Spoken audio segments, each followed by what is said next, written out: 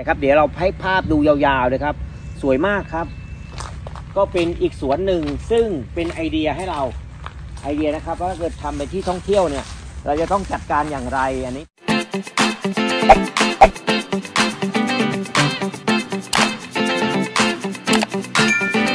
ลุงกลมพาชมไผ่คิดถึงไผ่คิดถึงเรา วันนี้เรามาดูสวนไผ่สังมนเพื่อการท่องเที่ยวครับ อันนี้เราก็มาดูที่น้อยแบมบูฟาร์มนะครับอยู่แถวท่าม่วงกาญจนบุรีนะครับใครอยากมาก็สวนไผ่คุณน้อยเลยครับนะทีนี้เรามาดูกันว่าบรรยากาศของเขาจัดการอย่างไรมาดูครับอ้าวอันนี้นะครับนี่กำลังเข้ามาแล้วนะครับโอ้งดงามอ่าระยะปลูกเราไม่ได้ถามใครนะครับ ดูน่าจะ4คูณ4ครับ แต่ว่าอันนี้เอาไอเดียก่อนนะ ยังไม่โตมากครับ ประมาณลำที่2นิ้วครับ ก็สวยครับนี่ เกลี้ยงเกลาดีอ่าเห็นไหมครับมีพื้นที่น้ำนี่แล้วมีทางเดินนะครับนี่ โอ้โห สวยเลย เขาทำเป็นที่ท่องเที่ยวแหละ เอาง่ายๆที่ท่องเที่ยวเลย นี่ฟาร์มนี่มีหมาด้วย นี่ครับ ก็ตกแต่งสวยครับนี่ ตกแต่ง ตกแต่งสวยงามครับ การทำพื้นที่ของเขาวาง นี่นะเห็นไหมคือสามารถเดินได้สะดวกนะครับ ไม่ใช่แฉะนะครับนี่เขามีการวางถังการเดินให้ดูเดินเที่ยวชมได้อย่างสวยงามเลยอ้าวลองดูนะครับนี่ก็เป็นไอเดียที่ดีอ่าเรามาดูครับ แต่งสวยนี่นี่กำลังมีหน่อไม้นะครับ ถือว่าสวยระดับหนึ่งครับนะครับ ก็ถือว่าขนาดนี้เหมาะสมนะจะไม่จะ องดูครับคนมาชมสวนเนี่ยเรามาถ่ายคลิปมาอะไรในภาพนิ่งนี่สวนนี่คือ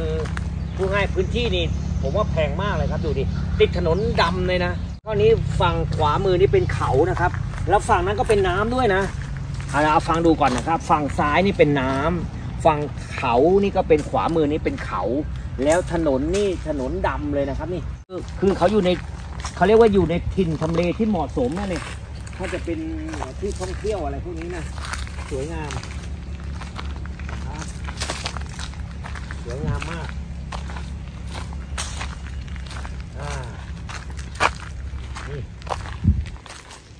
สวยครับไม่ได้ไม่รกไม่อะไรครับ เพราะว่าเขาแต่งสวยเลย หญ้าก็น่าจะไม่รกแล้ว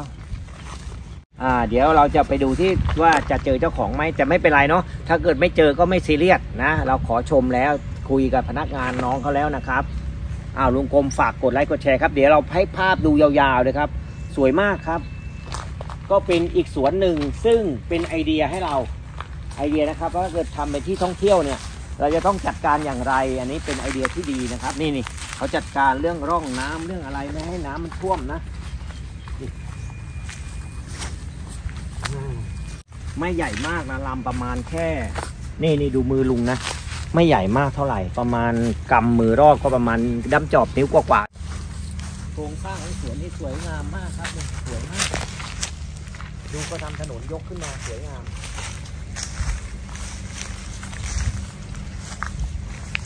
ดูเราก็มาได้ไอเดียคือเขามีไม้ผลมีไม้ไผ่ผสมประสานกันฝั่งทางขวาของลุงนี้นะอะลงไปดูสักหน่อยนะครับเห็นไหมครับว่ามีมีไม้กับไม้ไผ่ผสมกันไม้จริง กล้วยมีมะม่วงนะครับอ่าผสมประสานกันไป แล้วดู นี่เขามีป้ายด้วยทางไปซื้อกิ่งพันธุ์ไปทางนี้ครับ เดี๋ยวเราไปดูกันลอตเตอรี่ขายกิ่งพันธุ์ด้วยนะครับ นี่ เบเกอรี่ขายกี่พันธุ์นะ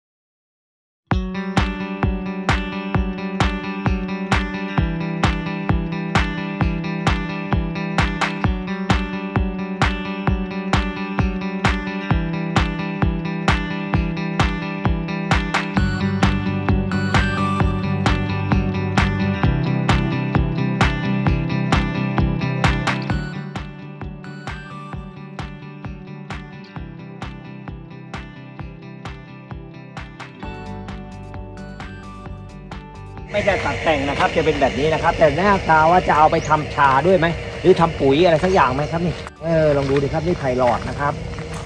เออเขาทำเป็นอะไรที่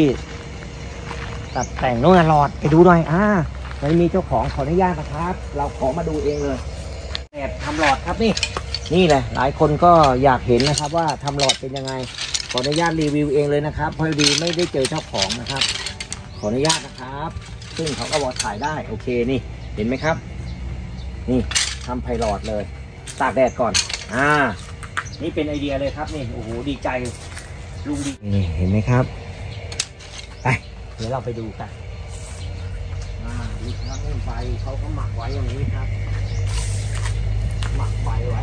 มุดหน่อยมาดูหลอดหน่อยคุณขอภาพนิ่งผมเยอะๆเลย ภาพนิ่งอะไรล่ะ หรือเราจะเอาเป็นโหนคอหลังการงานสร้างเลย มาดูครับ นี่ครับ มาดูหน่อย หลอดขนาดเหมาะสมเลยนี่ครับนี่ คาดว่าประมาณ 3 ปีเป็นอย่างน้อยนะ คาดว่าก่อนนะครับ 3 ปีเป็นอย่างน้อยครับนี่ โอ้สวยงาม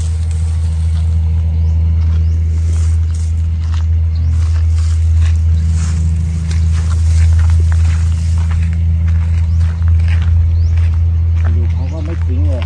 ขยะอะไรก็เอาไว้ครับที่ดินสวยมากครับ แล้วก็การจัดการได้ดี เป็นไอเดียเป็นแรงบันดาลใจให้ลุงต่อครับ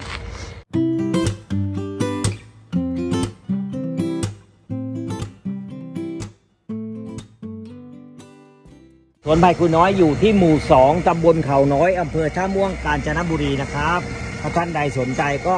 มาดูที่สวนไผ่คุณน้อยได้เลย เรื่องของเป็นเชิงท่องเที่ยว เชิงอะไรก็ว่ากันไปกล้าพัน เพื่อใครอยากจะปลูกก็มีบริการนะครับกล้าพันธุ์ไผ่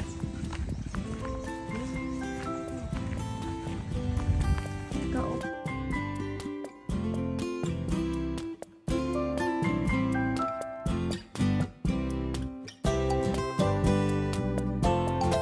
ฝากกดไลค์กดแชร์ฝากกดกระดิ่ง ฝากกดติดตามด้วยครับ ขอบพระคุณครับในการติดตามครับ